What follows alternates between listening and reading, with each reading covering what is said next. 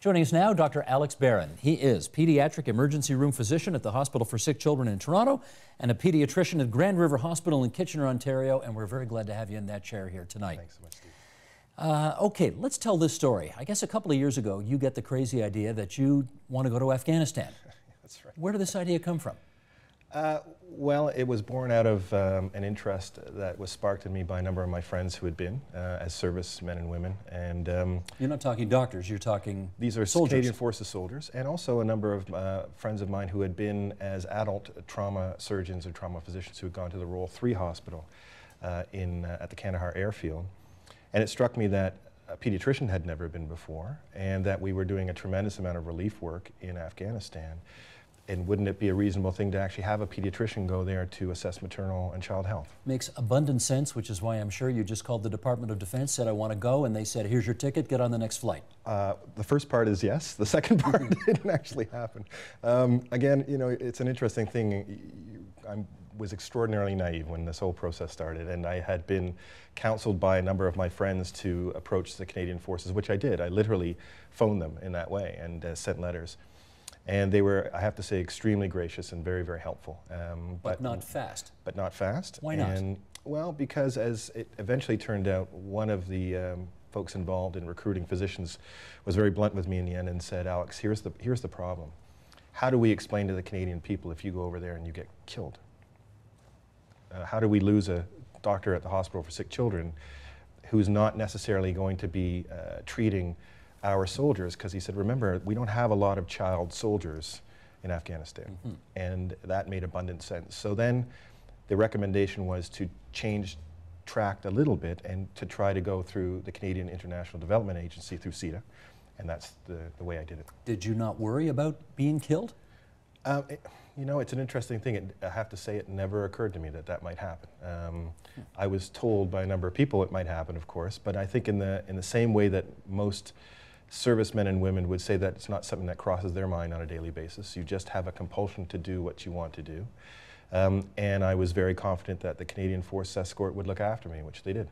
So from the first ask to the moment when you're actually on the plane going, how long a, a space of time was that? Two and a half years. Two and a half years? Two, two and a half years, many, many phone calls, many letters, meetings with um, ministers, meeting uh, with their staff, and finally the, uh, a phone call literally from Bev Oda on a June morning Minister? saying, Minister Bev Oda saying, Alex, uh, it's time to do this and I'd like you to go. Is that a ridiculously long period of time to have to wait to make this happen? I mean, it sounds like it. I don't know all the workings of the Canadian Forces in CIDA. Um, all I can say is that I was extremely glad to get You're being a good soldier, to put it that way. Okay. when you got on that plane, did you have any idea what would be waiting for you over there? Uh, again, th you think you do, um, but a, a, very good friend of mine, uh, Brian Macdonald, who had been stationed in Afghanistan and who now actually is a member of provincial parliament in New Brunswick, he had talked to me about this, and he said, Alex, I know there are people who are going to tell you that when you get there, uh, this is a country that is from the Middle Ages.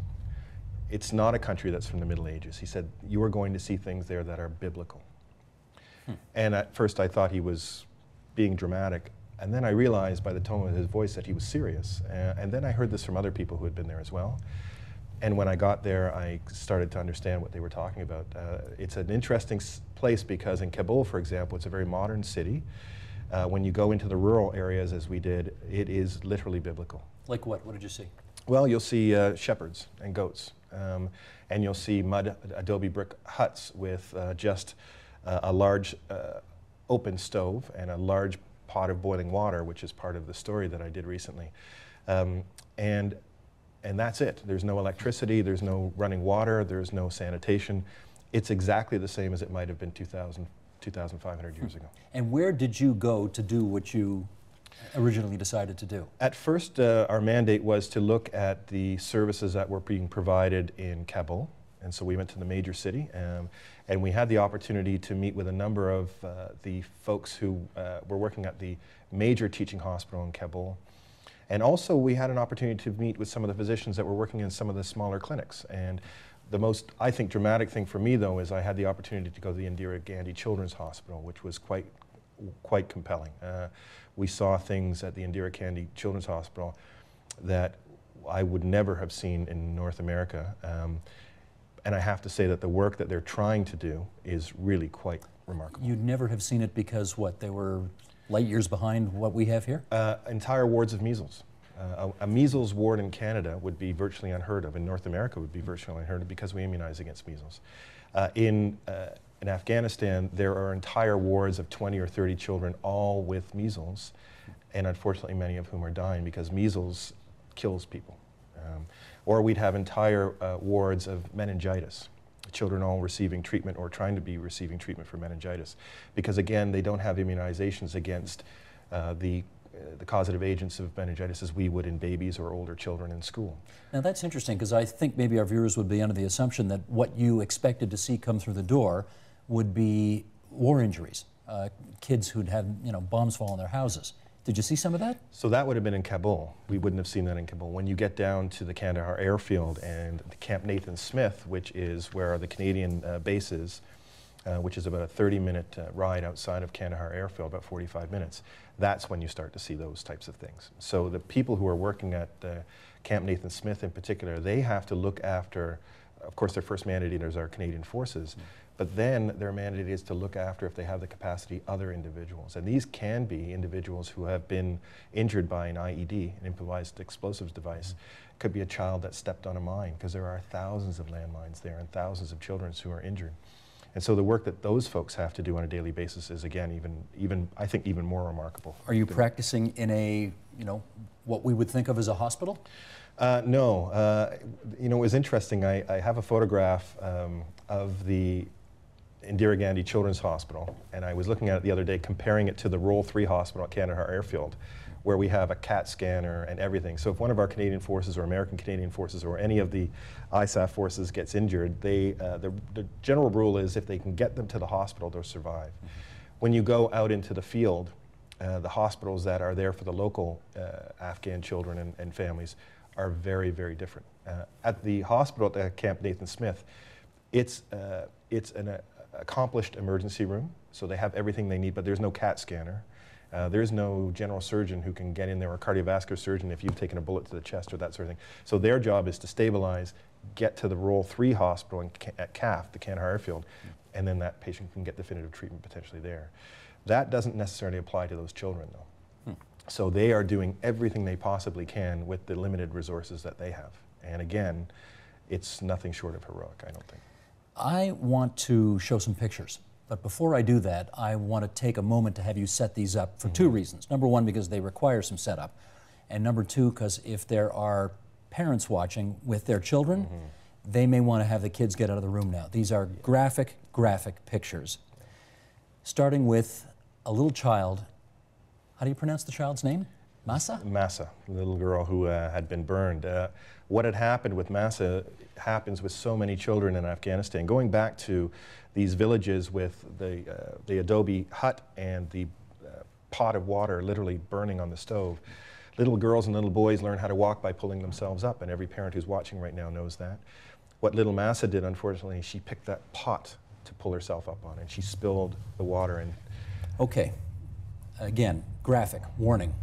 Let's see some of these pictures. And Alex, you can talk us through that. There she is. So there's little Massa, and uh, this is actually after she had received her, uh, her burn treatment. Uh, when she came in, she had about 50% burns to her body, including what we call full thickness burn. If you see her right shoulder, uh, it looks on our left side, but that's her mm -hmm. right mm-hmm. shoulder.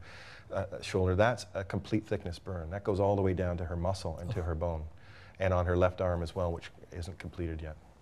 We've got a few more images here. And that's Samantha Parsons, uh, who is a wonderful uh, member of our Canadian Forces, feeding little Massa uh, fluids by a syringe because she was so weak and dehydrated from the fluid that she was losing from her skin that she literally would have died. And uh, Samantha spent hundreds of hours, literally, hmm. feeding that little girl fluids.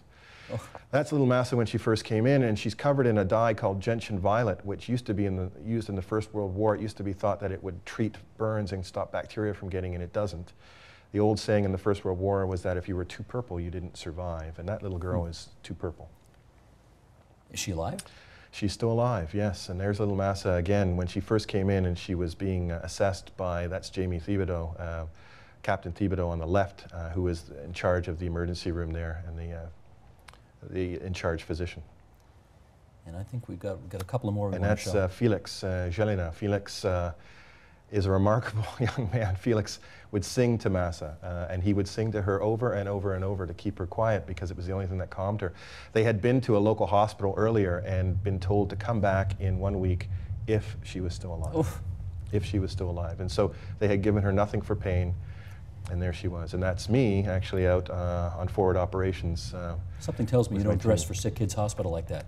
no, no, no. You don't wear a flak jacket very often, no. Had you, I mean, you, you deal with all sorts of uh, terrible illnesses for children when you're doing your regular routine here. Have, is this kind of what you're accustomed to dealing with? Um, I, I might see a child who's burned like that on occasion, uh, but of course I would have the backup of having an entire team, including plastic surgery and other people, uh, to do what they need to do to save her life. And if she went into kidney failure, we could put her on dialysis. And if she needed more IVs, and we could put those. Those folks had none of those backups. So in fact, what happened was they were on the phone talking with one of the plastic surgeons uh, in Halifax, at the Children's Hospital in Halifax, um, who was extraordinarily helpful in making this all happen. So it was a telephone consultation. I think he was quite surprised. Uh, Dr. Thibodeau was one of his former medical students and called him out of the blue and said, You're not going to believe this, but I have this young lady here who's been burned, and I need guidance on how to do this. And he provided that guidance, and she survived. Now, this is almost a year ago, right? Do you have any idea how she is now? Uh, my understanding is that Mass is still doing well. She's back with her family, and um, she'll, unfortunately, she'll have significant scarring. Uh, that nobody can change that. That would be the same for any child who'd gone through burns like that. Uh, but uh, she would not be alive. I'm very certain of that. Had it not have been for the remarkable efforts of that entire team that we just saw. And that's why you went. And that's part of the reason why I went was to document the fact that these that these situations are occurring, and they're not just occurring on an occasional basis. These uh, situations are occurring on a very regular basis, and some types, and, and some um, times daily, uh, to these folks, and they're responding the best way they possibly can. Uh, as I've explained to people, that family, no matter what happens to them from now on, no matter what the Taliban says to them, no matter what anybody else says, they love Canada because they know that Canadians are good, Canadians are good hearted, and that Canadians do the right thing. Those Canadians saved that little girl not because um, she was Afghan or any other reason, it's simply because she was a little girl who needed their help. I, I genuinely don't want to be cynical about this. You know that. We know each other a little bit. But uh, you've got that story to tell. And then, you know, and then there's what the Taliban does. And then there's the other stuff that happens in Afghanistan and the bribes that are paid out and the warlords that do their thing. Yep.